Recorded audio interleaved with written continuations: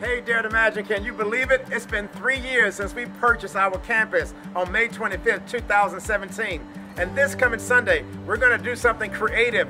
We're going to take the sanctuary from the inside to the outside to the parking lot.